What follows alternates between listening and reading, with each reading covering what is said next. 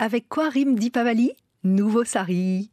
C'est d'ailleurs bien dans ces seules occasions que le sari se laisse admirer librement à La Réunion.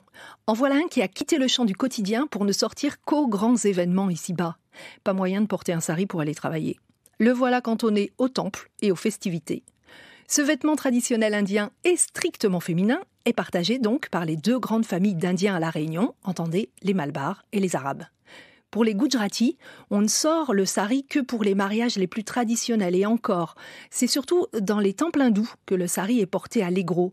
En mode dress code d'une couleur, rose pour les cavadis, safran pour la fête mariamène. Pour les grandes cérémonies du temple aussi.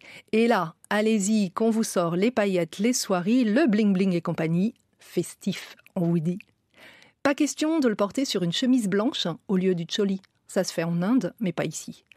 Là, c'est choli, donc ce petit corsage porté dessous, fait sur mesure et très très près du corps, avec nombril apparent, et une tralée de bracelets pour habiller les bras, et les chaînes de cheville qui grelottent, et le bindi piqué entre les yeux, traditionnel. Comme il y a souvent des fêtes, on n'a pas oublié comment le draper. 5 à 9 mètres de tissu enroulé et plissé dans un jupon, la bordure ondoyant au ras du sol, le palou flottant derrière soi, ou amarré sur le ventre en éventail. C'est selon selon les régions, et l'origine de celles qui les portent, et qui se sont bien passées le pli de génération en génération. Ça même, la Réunion.